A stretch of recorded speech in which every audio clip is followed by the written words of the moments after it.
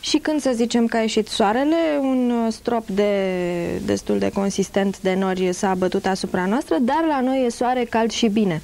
Și pentru că a venit primăvara, e cazul să zburdăm puțin, așa, prin pădure după floricele sau ca păsărelele din ram în ram.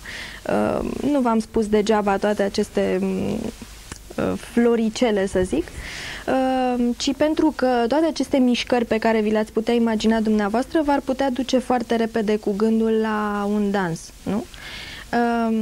Tocmai de aceea, sau poate nu tocmai de aceea, rămâne să stabiliți dumneavoastră, invitatul nostru de astăzi este un um, cunoscător foarte bun al acestei sfere a dansului. Este un coregraf și numele său este Sergiu Angel.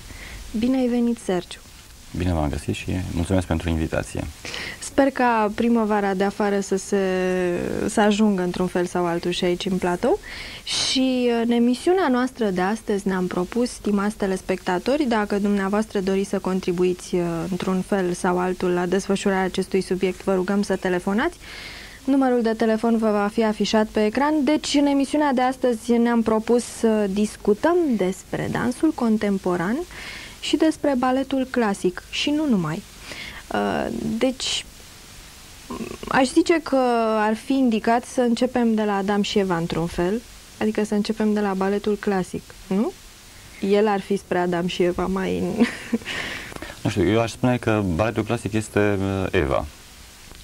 Și Adam cine ar fi? Baletul contemporan, bineînțeles.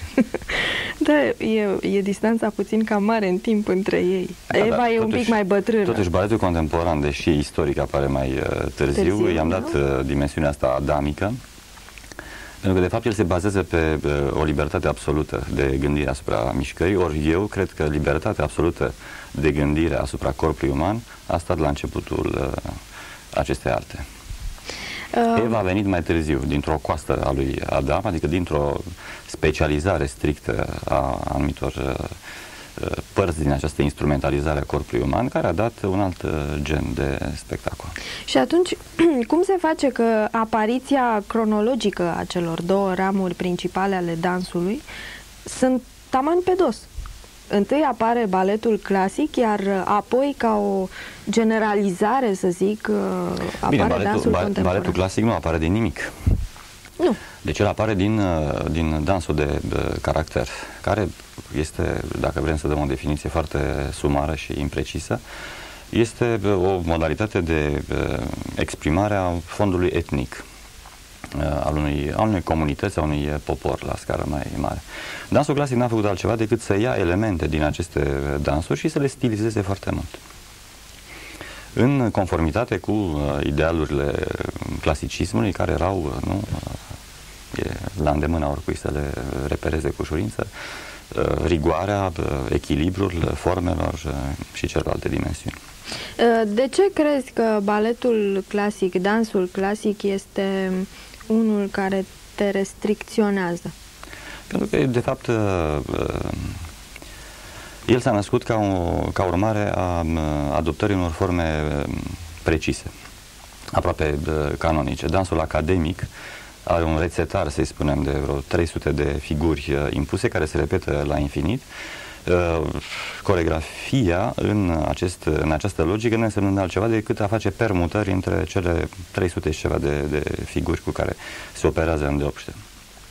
Deci rolul creator uh, la acest nivel nu este decât unul de organizare, mai mult decât de uh, uh, cercetare, de căutare a unor dimensiuni,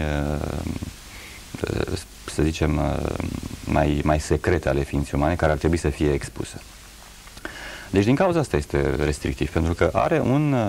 un deci sub niciun chip nu se poate ieși din această listă de 300 sau nu știu câte Ba da, se poate ieși sub mai multe echipuri.